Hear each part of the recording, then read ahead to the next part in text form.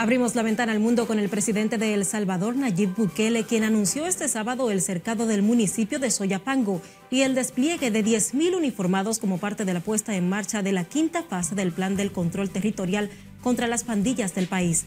Penela Peña nos cuenta más en el resumen internacional de RNN.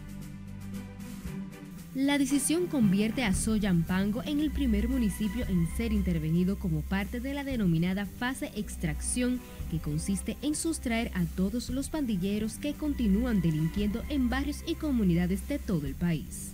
Según explicó el mandatario durante un evento con las Fuerzas Armadas, una vez detenidos por las fuerzas de seguridad, los delincuentes deberán de ser entregados a las autoridades correspondientes para procesarlos, de acuerdo con las normativas en materia penal introducidas en el país en marzo. Bukele aseguró que se trata de una operación contra los criminales y no contra los ciudadanos honrados. Estados Unidos presentó su primer bombardeo en 30 años, invisible a los radares y desarrollado bajo máximo secreto. Se trata del primer avión de una flota de 100 aeronaves destinadas a fuerzas de ataque estratégico de superpotencia nuclear, en teoría capaces de bombardear Moscú o Pekín con armas convencionales o atómicas sin ser detectadas.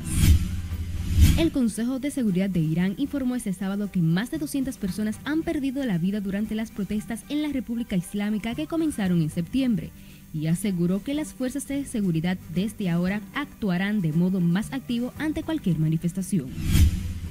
El presidente francés Emmanuel Macron se reunió con el empresario Elon Musk durante su viaje por Estados Unidos y ambos mantuvieron una conversación clara y sincera sobre Twitter y la moderación de contenidos. Y la NASA y la Agencia Espacial Europea están trabajando para traer a la Tierra las primeras muestras de superficie de Marte. El transporte de material del planeta rojo se llevará a cabo dentro del programa Mars Sample Return de la Agencia Espacial Estadounidense, cuyo fin es estudiar las muestras en laboratorios terrestres con herramientas de última generación. En las internacionales, Fenela Peña, RNN.